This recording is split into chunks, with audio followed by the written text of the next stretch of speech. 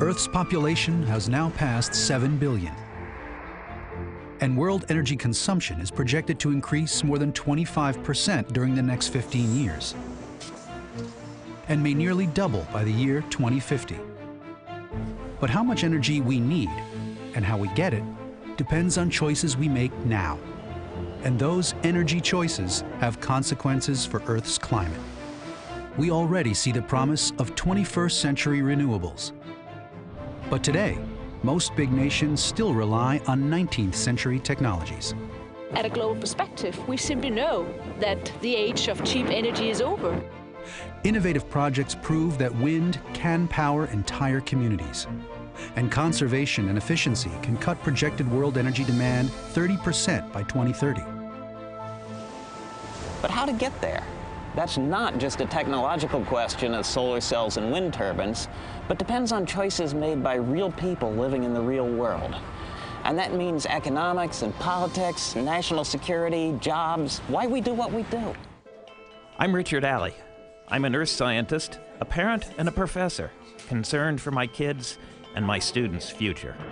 I've studied our planet's changing ice sheets and climate history, and tried to come up with numbers for how much renewable energy our planet offers.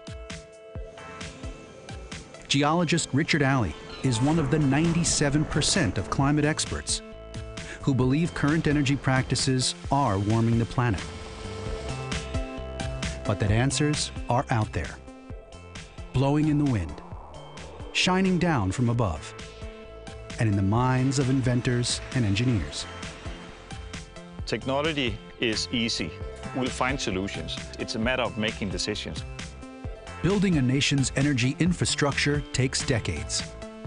Now, some energy insiders wonder if America is still up to the task. You need to think of energy in a 50-year time frame. And our elected officials are thinking of energy in two-year election cycles. That's ridiculous. But I'm optimistic we can get to a world with more people living better while using cleaner, more sustainable energy. And that's why we call this program Powering the Planet.